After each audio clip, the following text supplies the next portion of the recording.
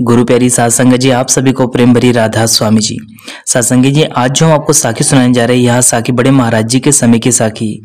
देखिए, एक बहन जो कि कई दिनों से, कई सालों से डेरा जाया करती थी और नामदान की लाइनों में लगा करती थी, लेकिन उन्हें ना जाने किस कारणवश नामदान की बख्शिश आखिर तक नहीं हुई। इस कारण वह बहन बहुत ही रोती, बहुत ही परेशान होती। और अपने भाग्य की दुहाई देती रहती।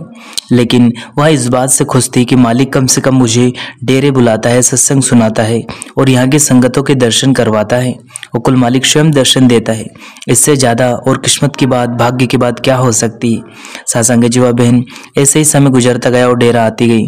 और जब एक दिन ऐसा वक्त आया कि उसकी उम्र बहुत ज़्यादा हो गई, लेकिन फिर भी उन्होंने सत्संग घर आना नहीं छोड़ा, वहाँ सेवा करना नहीं छोड़ा। देखिए वो मालिक तो जानी जान है। वह ना जाने कौन सा कर्म, कौन सी सेवा से समाप्त कर देता है। हम और आप जी सभी डेरा जाते हैं, सेवा करते हैं, सत्संग सुनते हैं, लेकिन हम और आपको पता नहीं, वह मालिक ना जाने कौन सी सेवा से, कौन से कर्म, कौन से प्रारब्ध को बदल देता है। यही तो उस कुल मालिक की अपरंपार दया में है, जिसको हम आज तक जान नहीं समझे, समझ नहीं पाए।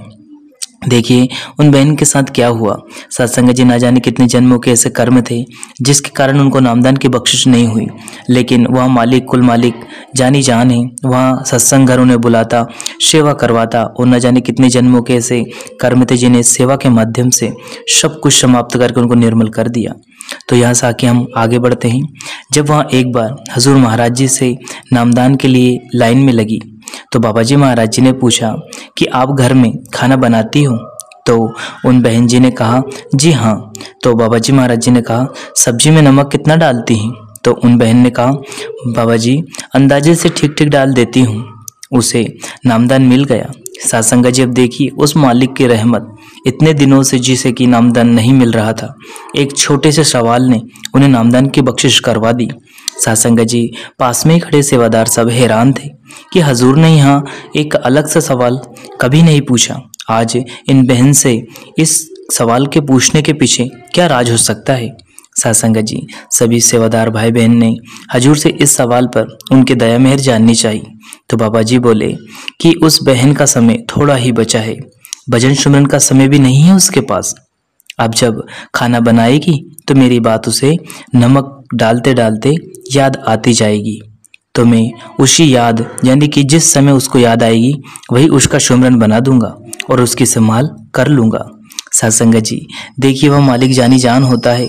वह जिसे तारना चाहता है उससे एक क्षण नहीं लगता और जिसे भजन सुमरन करना, करवाना चाहता है, उसे भी एक पल नहीं लगता। उसका सारा भजन सुमरन वह एक छोटी सी याद में करवा लेता है। इस बहन के साथ भी तो यही हुआ। अब देखिए, जब दो चार छः महीने के बाद पता चला कि वहाँ बीबी अपनी दह को छोड़ चुकी है, यानी कि उस कुल मालिक के घर पहुँच चुकी है। सत्संग जी यह जानकर सारे सेवादार और सत्संगी हैरान हो गए कि देखिए उस कुल मालिक की दया परम पार है। उसने जिसे भजन सुमरन जितने वक्त में करवाना है, वह किसी भी माध्यम के ज़रिए करवा सकता है। अब संतों की महिमा और दया मेहर अपरम्पार है, जिसे बयान करना हमारे लिए बहुत ही मुश्किल है। उनके लिए कोई शब्द नहीं है कि हम किस प्रकार से उस मालिक के दया मेहर को बयान कर दें। सत्संग जी, देखिए, सारी ज़िंदगी वहाँ डेरे आती गई, सत्संग सेवा करती गई। अपने मन में मनाल, मलाल भी हुआ कि मुझे नामदान नहीं मिल रहा। न जाने मेरे कितने ऐसे कोठे कर्म हैं, न जाने कितने जन्मों के ऐसे पाप है, जिसके कारण के मुझे नामदान की बख्शिश नहीं हुई। लेकिन देखिए, अब अगर वहाँ पवित्र हुई, उसके कर्म समाप्त हुए तो क्या ज़रिया था? जब उसे नामदान नहीं मिला तो क्या था ऐसा जिसके माध्यम से उसके जन्मों जन्मों के पाप समाप्त हो गए और उसे छः सात महीने में ही उस कुल मालिक की प्राप्ति हो गई और नामदान की बख्शिश भी हो गई। तो देखिए, यह सब है सत्संग में जाकर सत्संग सुनना, संगत की सेवा करना और बड़े ही प्रेम प्यार से गुरु घर में जाकर उसे विनम्रता और दया प्रेम से अपने श्रम का दान करना, यानी कि समय का दान करना। यही तो उत्तम सेवा है।